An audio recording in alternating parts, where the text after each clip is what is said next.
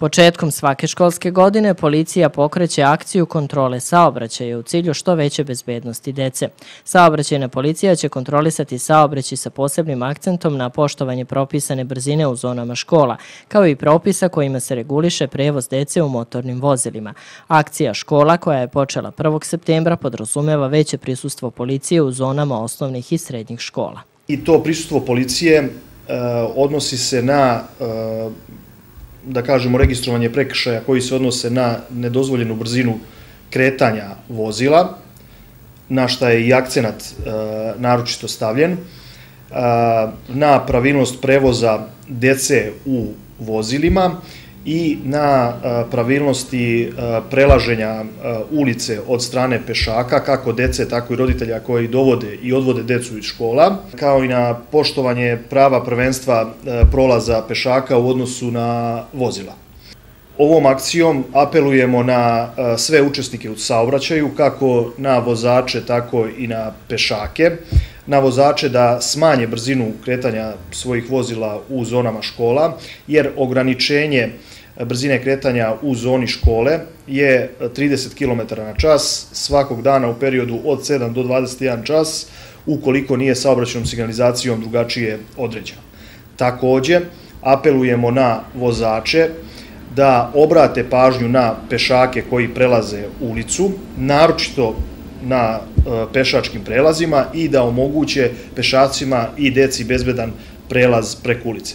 Takođe bih apelovali i na same pešake da svoje kretanje vrše isključivo trotoarima i da prelazak ulice vrše na za to predviđenim zakonom predviđenim mestima, a to su pešački prelazi. Prema podacima Agencija za bezbednost saobraćaja u periodu od 2001. do 2013. godine na području Valjava u saobraćenim nezgodama poginulo je jedno dete, a povređeno 345. Analize pokazuju da deca najviše bivaju povređena kao pešaci i kao putnici u vozilu. Prošle godine smo imali e, tokom sprovođenja akcije škola i u prošloj godini smo imali uopšte samo jedno e, lako povređeno dete u vozilu samim zonama škola. Ove godine se nadamo da to nećemo imati. Što se tiče ugroženosti dece u saobraćaju, tu možemo reći da su oni posebno osetljiva e, kategorija, mada i Ministarstvo unutrašnjih poslova i e, Ministarstvo prosvete poslednjih godina naročito pažnju je posvetilo edukaciji dece u samim školama, tako da deca sve više i više postaju edukovana za učešće u saobraćaju i dosta su možda danas i obazrivija nego li e, odrasli e, koji su to sve na neki način e, zaboravili i koji se mnogo manje edukuju nego sama deca koja počinju da učestvuju u saobraćaju. U saobraćenoj policiji navode da naročito opasnost u zonama škola predstavljaju i nepropisno parkirana vozila na trotoarima. Pored tog nepropisnog parkiranja u zonama škole, koje na neki način primorava sve pešake i učenike, đake i najmlađi učesnike u saobraćaju da siđu sa trotoara i da se kreću jednim delom ulice kako bi zaobišli ta nepropisno parkirana vozila, predstavlja samo opasnost po njih u saobraćaju.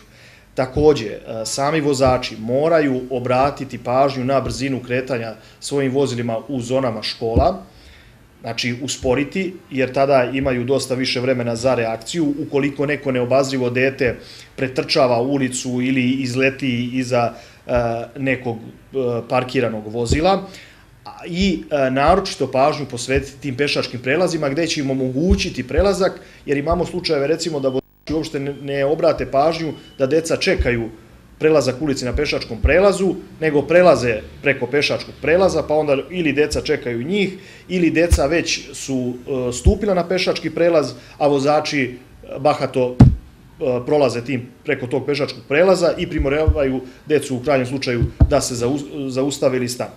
E to je posebna opasnost kada ne stigne da odreaguje dete ili ne, ne stigne da odreaguje vozač i onda dođe recimo na pešačkom prelazu do kontakta između vozila i pešaka. Kako je saopštila policija, brzina se kontroliše ručnim radarskim uređajima i uređajima za merenje brzine u vozilima bez spoljnih obeležja policije, takozvanim presretačima.